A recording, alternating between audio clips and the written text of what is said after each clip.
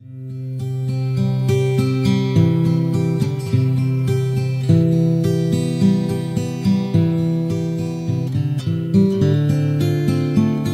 I'm going to be tying an Alexandra wet fly. Now the thread you could use is 801 black and the hook is a Kamasan, it's a B170 size, uh, size 10. Put the thread on at the eye and we're just going to work our way back. Just take it back quickly and stop. When you let go of the bobbin, the thread sits in line with the barb. Remove your waste piece now this is just a, a goose shoulder. You can see where I've been taking some of the fibres from. Now what you want to look for is this flat edge along the top. Once you've got something like that, just going to take a wee bit off either side. You only want it to be about a millimetre or so wide. Two millimetre wide at a push. Just come in, trim that away. One.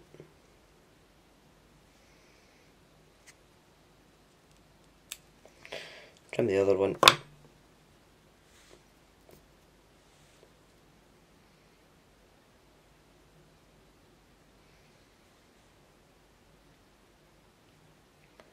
Now what I've done is I've just put them both together to create that one flat piece and the length of the tail you want to be the length of the body. Now you'll notice the end is slightly pointing down the way. I'm just going to flip this upside down so that it points up, just like that. Switch hands, come in on top with a pinching loop, put thread straight down, come in a few wraps over the don't want to try to advance forward at this point, you just want to keep going over the spot you've just gone over. Just go over that and over that a few times. Now at this point you can tie in tie in your rib. And the rib, this is just oval, extra small. Could use small, but the extra small is one of my favourite. Just take off a length of that. Put it on side, a few turns to hold. and then I've just got some gold, this is a Uni Mylar, gold and silver tinsel, meaning it's silver on one side, gold on the other. And we're going to use the silver side. So, take off a length. Now, the basic rule or the general rule when you're tying with two-tone tinsels is whatever side you want, which is the silver side here, you want to be facing the shank. So when you tie it on, it's the gold that you see. Just take a few turns at the bottom before you start to come up. They come up nice close touching turns, keeping the thread nice and tight. What you're trying to do is just get this as smooth as you can. Now we're going to stop and eyes width away from the eye. Now I'll give us plenty of space to tie off and tie in our hackle and in our wing. Just come in, trim the waste ends away. Take a couple of turns, just hold them down. Now, you could do without this part, but just to make the tinsel last that wee bit longer, some super glue onto the, the shank. And then start to wind tinsel on.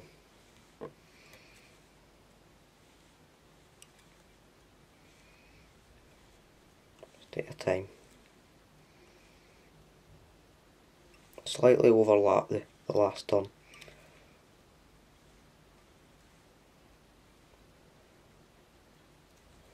Now when you get to the thread, just hold it up.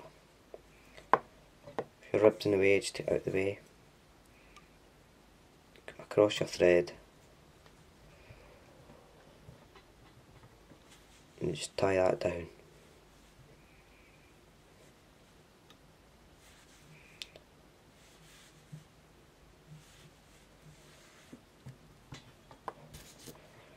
There we are. Now, take away your tinsel. Another fly's worth, worth or so in that. Just a wee corner there that's just sticking up so I'm just going to rub my nail on that. And that should flatten it down. At this point just tidy up. Go back up to the edge of your tinsel. Come round. One turn right at the back. And then start bring your rib up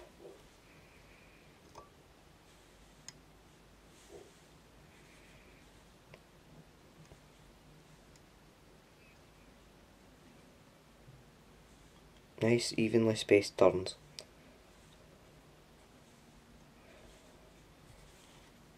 Get my here with your thread. Tie that down.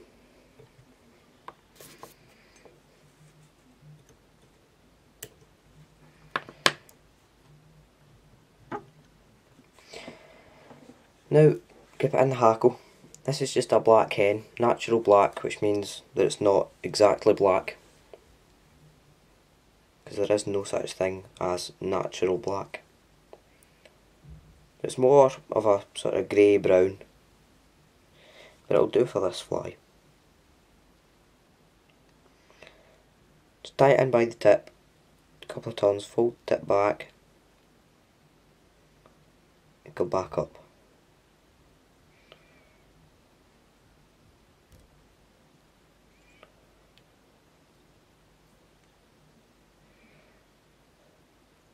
Pull the tip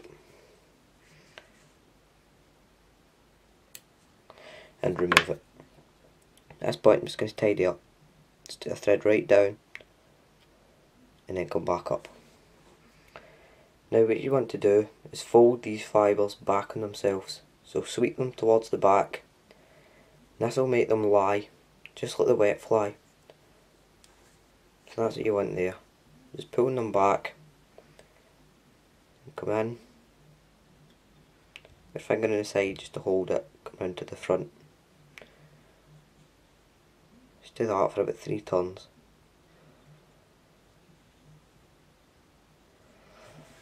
And you've got your three turns in, come up with your thread, a 90 degree bend into the feather. That'll stop it from pulling out. Then lock that down. Take away the waste piece.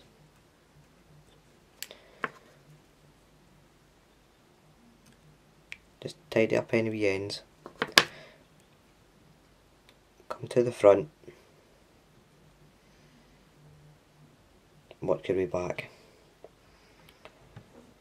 Now that could be a good wee wet fly itself. However to make it the Alexandra just get two it's a show you here peacock sword. This is the sword there and I've took a there's a right and a left. And all I've done don't rip them off.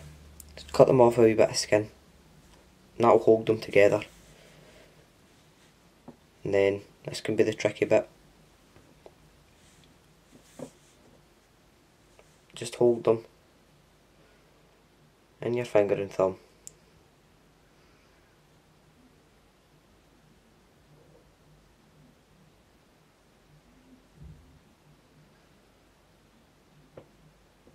so hold them like that. It's the underside that you're seeing there. I'm just holding them together. Put them on, get the length that you want. Should be about halfway into the tail. Coming in round the side. Holding it really nice and tight onto the shank. Pinch. Keep your fingers tight against the shank. Bring your thread down. Feel everything slip through your finger. Come up again. Now just roll your fingers back and see that rolling back a wee bit just so I can see it. Don't let go yet. Once you are sure everything's sitting the way you want, just come in. Or just take your fingers away. Now this one here, just going to pull that out.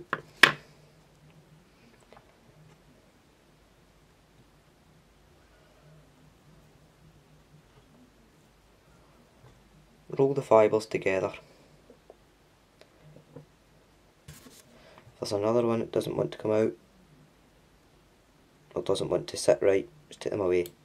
Don't spend time trying to get them to sit right, because with peacock sword, you'll never get them all sitting right. So I just took one or two out, as you've seen there. Now, just sitting a wee bit round, so what I'm going to do is just pull back onto the top there.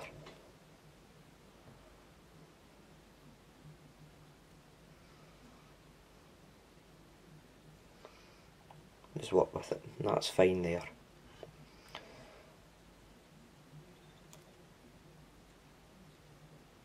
a few turns off. Come back up on. Now, just going to come in.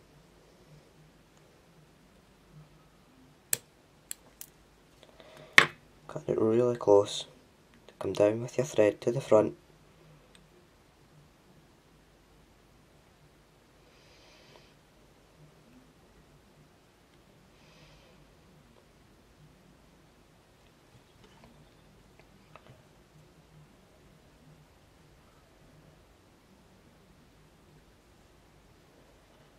one or two wee fibres there just at the eye that's annoying me. Could do that away in a minute. Now, if you've got any wax, put some wax onto your thread. I've got some here. Just going to heat it up in my hand for a second or two.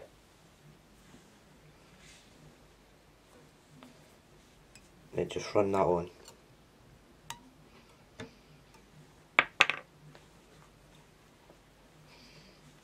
just like that. Now, one jungle cock eye, you could use one or you could use two. Two small ones or one larger one. I'm just going to use one. Split it down either side. Come in.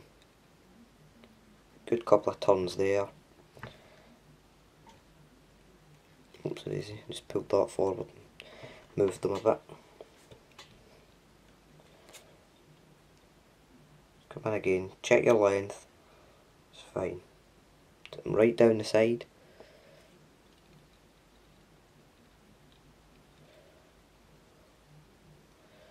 Run your thread down, touching turns going down, pull the thread back, and this will stop it from pulling out.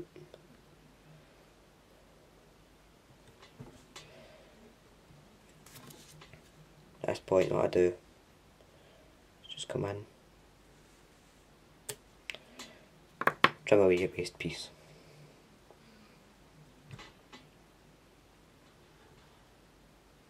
now just tidy up. Come in with your whip finish.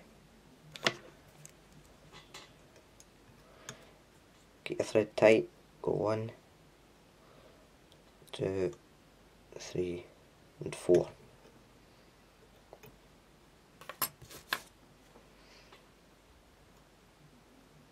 take the thread away.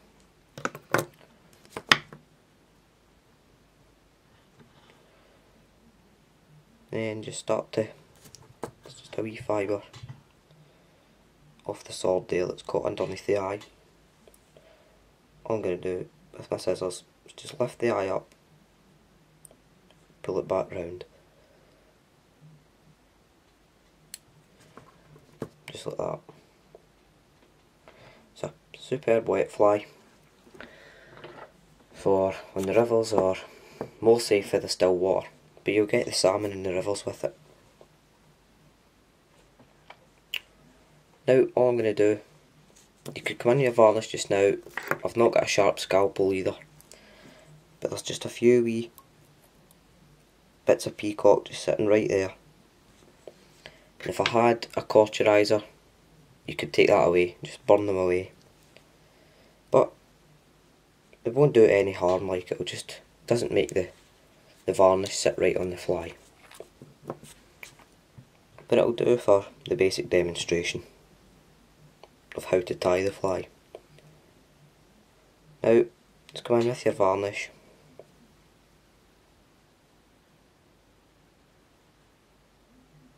Just take your time